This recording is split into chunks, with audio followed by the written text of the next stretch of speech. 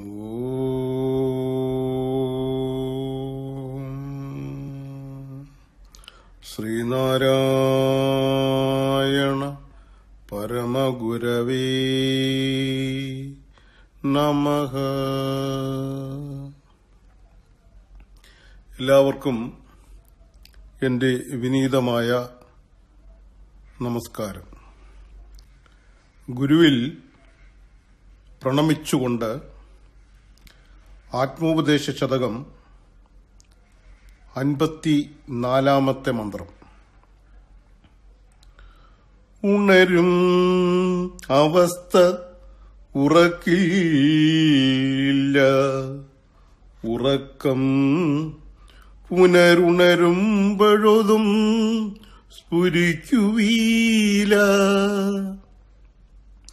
അനുദിനം ഇങ്ങനെ രണ്ടും ആദിമായ വനിതയിൽ നിന്നും പുറന്നു മാറിടുന്നു.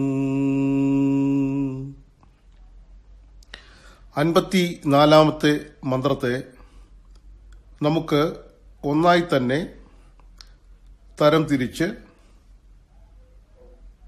വ്യാഖ്യാനിക്കാം. ഒന്ന് ഉണരും അവസ്ഥ ഉറക്കിൽ ഇല്ല. ഉറക്കം പുനർ ഉണരുമ്പൊഴുതും സ്ഫുരിക്കുകയില്ല. അനുദിനം ഇങ്ങനെ രണ്ടും. ആദി മായാവനിതയിൽ നിന്നും പുറന്ന് മാറിടുന്നു.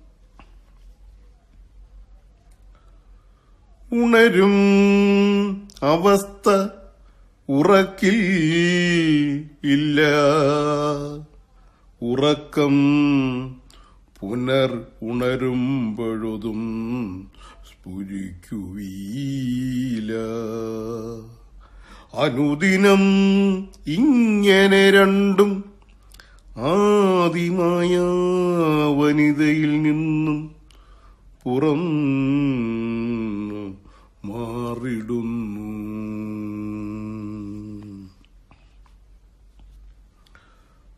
ഉണരും അവസ്ഥ ഉണർന്നിരിക്കുന്ന ജാഗ്രത അവസ്ഥ. ഉറക്കിൽ ഇല്ല. ഉറങ്ങുന്നതായ സുഷുപ്തിയിൽ ഇല്ല. ഉറക്കം. ഉറക്കം. പുനർ ഉണരുമ്പോഴും വീണ്ടും ഉണരുമ്പോഴും സ്ഫുരിക്കുകയില്ല ഉണ്ടായിരിക്കുന്നില്ല.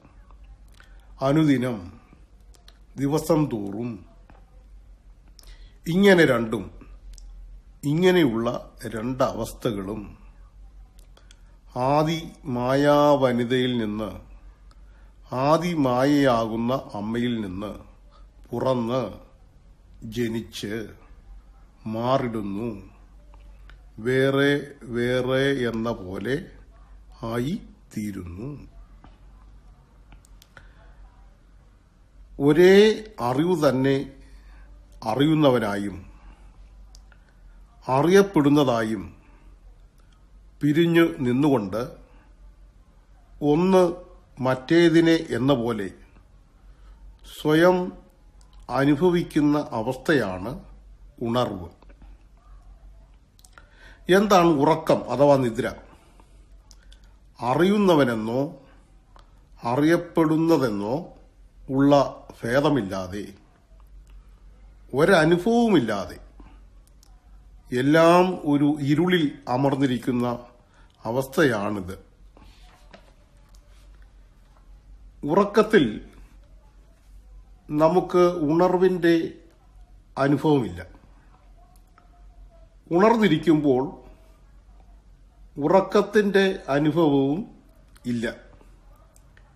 ഏതെങ്കിലും ഒന്നേ ഒരു സമയം ഉണ്ടായിരിക്കുന്നുള്ളൂ അതുകൊണ്ട് ഈ അവസ്ഥ ഭേദങ്ങൾ ഒരേ അറിവിനു സംഭവിക്കുന്നതാണ് എന്നുള്ളതും നാം ഓർക്കാറില്ല. ഇങ്ങനെ അറിവ് സ്വന്തം സ്വരൂപത്തെ മറച്ചുകൊണ്ടാണ് ഉണർവ് ഉറക്കം എന്നീ അവസ്ഥകളെ തന്നിൽ തന്നെ ഉണ്ടാക്കുന്നത്. അറിവിന്റെ ഈ ശക്തിയാണ് ഇവിടെ പറയുന്ന മായാ വനിത. ഈ വനിത അവസ്ഥാഭേദങ്ങളെ നിരന്തരം പ്രസവിച്ചുകൊണ്ടിരിക്കുന്നു. ഈ പ്രസവമൊഴിഞ്ഞ സമയമില്ല. അതുകൊണ്ട് പ്രസവിച്ചു വന്നതിനെ മാത്രമേ നാം കാണാറുള്ളൂ. പ്രസവിക്കുന്ന മായാവനിതയെ നാം കാണാറേയില്ല. ഇങ്ങനെ ഉറക്കവും ഉണർവും മായാ വൈഭവത്താൽ നടക്കുന്ന പ്രതീതിയാണ്. ആത്മജ്ഞാനിയായിരുന്നാൽ മാത്രമേ ഈ മായാ മൂടുപടത്തിൽ നിന്നും നമുക്ക് മോചനവും നിത്യപ്രകാശവും ലഭിക്കുകയുള്ളൂ. ഇത്രയും പറഞ്ഞുകൊണ്ട് അൻപത്തി നാലാമത്തെ മന്ത്രം ഇവിടെ ചുരുക്കുന്നു. എല്ലാവർക്കും ശുഭം.